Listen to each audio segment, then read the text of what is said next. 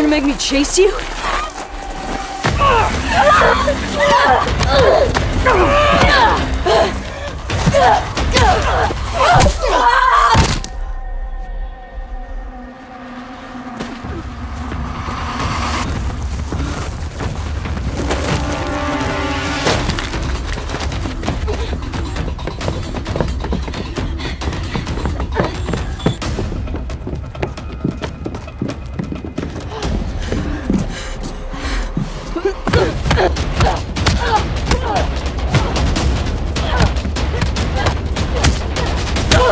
To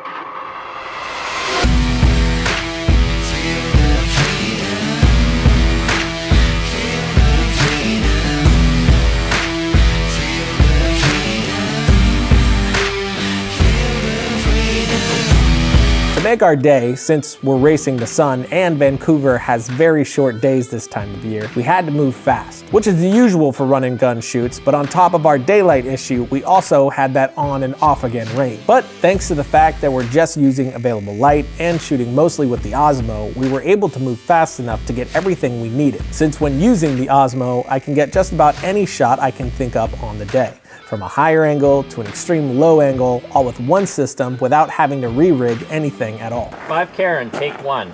Mark. The entrance into the fight between Katie and Cassandra, who played our lead, after a foot chase through the woods, Cassandra sort of slips and falls down a hill. We went over the hill and picked the spot that would be the easiest one to slide down, removed all the rocks from it so she had a nice clear zone, and then we put some mats at the bottom so that she could just do the fall and not worry about the bottom. So as she's sliding down the hill, I uh, got a shot with the Osmo where I was trying to match the move with her. So I climbed halfway up the hill and sort of ran down the hill next to her, uh, stumbling and tripping all over myself, but pointing the Osmo relatively in the right direction. And the shot we got worked out really well considering I was stumbling down the hill.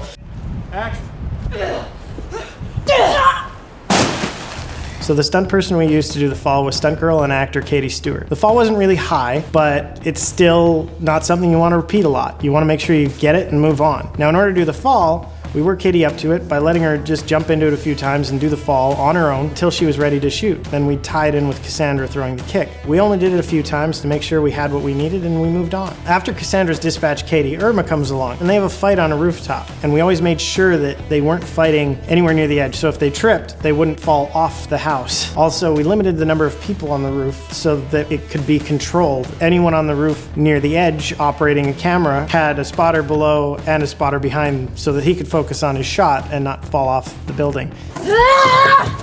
Ah! What's really great about the Osmo is that it's small and light enough that you get zero fatigue while using it, which meant I could keep up with my actors, pushing through take after take and setup after setup without ever needing to give my arms a break. So we were able to jump around and get all the coverage of our fight shot out quickly, which coverage is just all the different angles of that moment that you're going to need later to cut your sequence together. For the most part here, I'm doing triangle coverage a shot from one side covering this character, a reverse covering the other, and a master which covers them both. With those three together, I know that I'll be able to cut my scene. Then I just sweeten it with a few specials here and there to make the scene feel more alive. But after we shot out our fights, we moved down into the forest area to run around and get those shots. Of course here I had my DP, who is also a stunt camera operator, do the running, since it was a very tight area with a lot of obstacles. But again, since the Osmo is so small and light, he was able to keep an eye on his footing and get some really dynamic shots through heavily wooded areas. And after we got all that, it was on to our aerial shots. For our opening shot, we wanted this top-down, God's eye view of our characters running through the woods before we meet them on the ground with the rest of the action. This was easy to achieve by launching the Phantom into the air, pointing the camera straight down, and we had our shot. After that, we moved on to the rooftop fight. Here we needed two main Phantom shots. The first was to reveal this epic background that they're fighting in front of. In order to get that shot, we would have needed to bring up a jib to get this type of shot, but because of our remote location, there's no way we're gonna be able to haul that amount of gear up there with such a small crew. Thankfully, with the Phantom, we're able to get the exact same shot with gear that fits in my backpack. For our second shot, we wanted a smooth and consistent rotation around our characters as they fought, which was easy to nail because of the point of interest mode on the Phantom. Using the point of interest mode is as simple as setting the center point, adjusting the height and distance away from that point, and then allowing the Phantom to continuously fly in a circle. Trying to do that on your own is actually quite difficult. So by removing the human error from a continuous circle around a fixed point